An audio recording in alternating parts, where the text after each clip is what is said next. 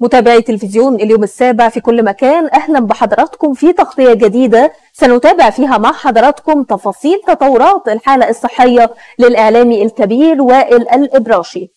بعد فترة طويلة من المعاناة مع آثار إصابته بفيروس كورونا في ديسمبر من العام الماضي الحقيقة إن الخبر في هذه المرة سعيد ومفرح. الحمد لله تحسنت صحة الإعلامي الكبير وائل الإبراشي مقدم برنامج التاسعة على شاشة التلفزيون المصري وذلك بعد تعافيه من تأثيرات فيروس كورونا قال الإبراشي في تصريحات خاصة لليوم السابع إن الله من علي بالشفاء من الأعراض الصعبة. بشكر كل من اطمأن علي معلنا أنه سيعود قريبا إلى عمله بعد تمام شفائه.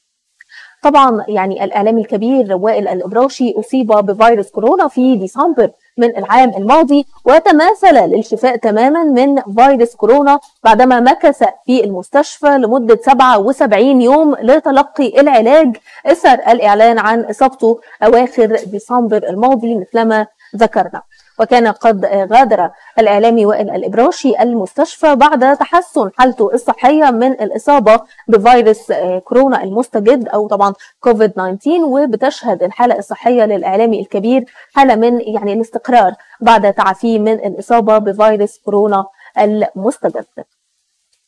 كانت كمان الصفحة الرسمية للإعلامي وائل الإبراشي أعلنت عن قرب عودته لتقديم برنامج التاسعة المذاع على شاشة التلفزيون المصري وذلك عقب تعافيه من فيروس كورونا ومغادرته للمستشفى.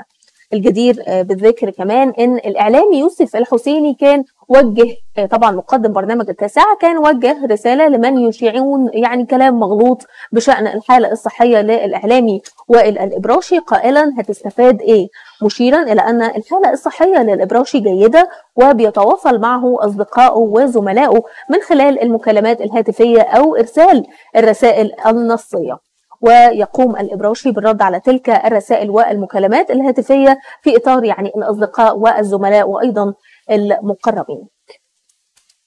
خلوني كمان أقول لحضراتكم إن يوسف الحسيني أكد خلال تقديم برنامج التاسعة المذاع بالتأكيد على القناة الأولى المصرية وقال نصا لسه متصلين بيه. ورد علينا والحمد لله والشكر لله فل الفل و100 فل و14 أستاذ وائل فلة. ده يعني كانت رسالة طمأنة من الاعلامي يوسف الحسيني لكل جمهور ومحبي الإعلامي القدير وائل الابراشي كمان انتقد العديد من الشخصيات العامة ما يطلق من شائعات على مواقع ال social media متسائلين عن وجه الاستفادة من كل هذه الشائعات. قالوا إنها حاجة مهينة ومؤسفة. أنت كده بتضر بني آدم وأسرته والناس اللي بتحب اللي بتحبه وبيوتر الشخص نفسه.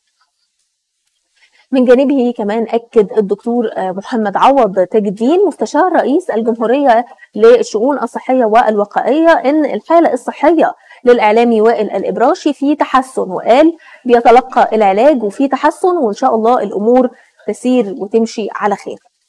كمان محمد عوض تاج الدين مستشار السيد الرئيس للشؤون الصحية والوقائية كشف حقيقة دخول مصر الموجة الرابعة من فيروس كورونا المستجد وأكد خلالها على أن ما شهدته الأيام الماضية من زيادة في حالات الإصابة المسجلة بفيروس كورونا لا تعني دخول مصر في الموجة الرابعة من الوباء.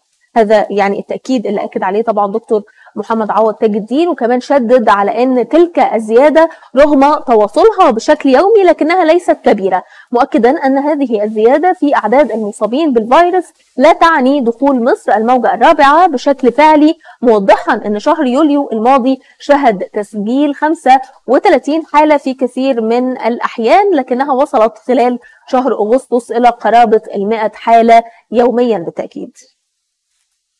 كمان طالب الدكتور محمد عوض تاج الدين مستشار السيد الرئيس للشؤون الصحية والوقائية.